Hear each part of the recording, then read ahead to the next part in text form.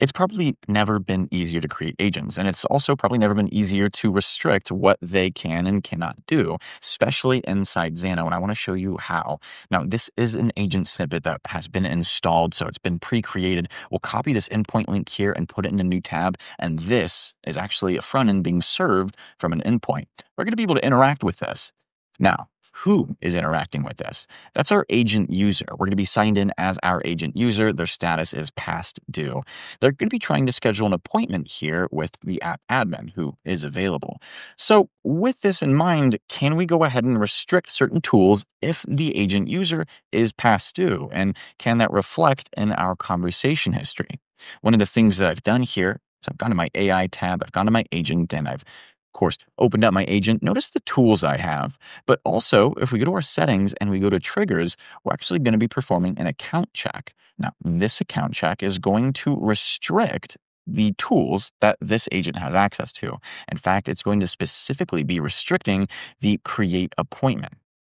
Our user is currently unpaid, so they won't be able to schedule an appointment, but when they're paid, then they'll be able to. And I want to show you that live. So let's go over here to this chatbot and I'm going to say, hi, I'd like to schedule an appointment. Now, of course, you'll have application context more so than what we have here for this light demonstration, but you have the ability to do things with these tools. And here I've instructed my agent to not let me proceed unless I have paid. It knows this. In fact, it doesn't have access to this tool. I'll even say, now, don't you have access to the um, we'll say appointment scheduler tool. And we'll see what it says. It's going to say no, it's saying that I have to pay this bill. That's why I can't see it. So let's go ahead and pay this bill. My status is paid perfect. I'll head right back into the chat bot and I'll say, okay, it's been paid. Perfect. So I've restricted a tool from being able to be used based off of conditions and parameters that I've set within Xano. And you can see how I've done it with only a couple statements where we're going to be using the auth ID from our user on that chatbot side.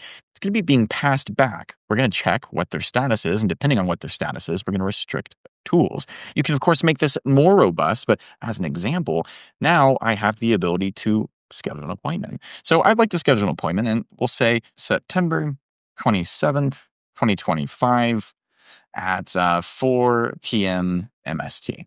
And then once it's been scheduled, we can go to our appointment table inside Xano to see, yep, this record has been scheduled. And this is just the beginning. So go ahead and get started by downloading that snippet below. And well, you'll have a chatbot pretty much out of the box. Can't wait to see what you build with it.